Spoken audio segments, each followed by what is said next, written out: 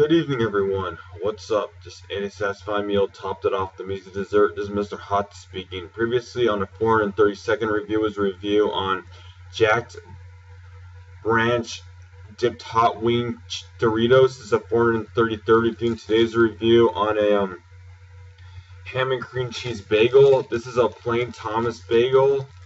The bagel right here has like 135 calories, so this has about over 200 calories. Bagel with cream cheese. Ah, bagel's been in the fridge for. Sorry, it won't open at all. Cream cheese at the bottom, and ham at the top. Sorry if one couldn't see that. Very fluffy, slightly doughy, thick, glutinous bagel. White, nice golden brown outside, little cornmeal at the bottom. Ham smells nice and fresh. Cream cheese smells pretty thick and creamy. A nice, beautiful sandwich to eat. Smells like a bagel. Smells like ham. Smells a little bit like cream cheese. One can't smell the cream cheese as well.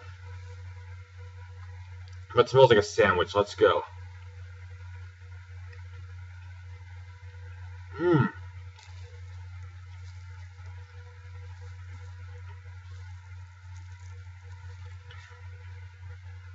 Hmm. The combination of bagels, ham, and cream cheese is pretty addictive.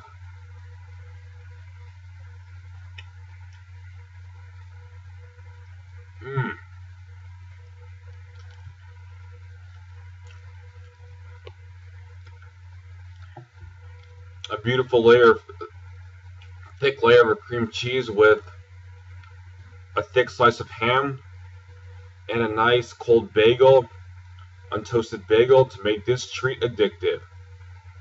Mm.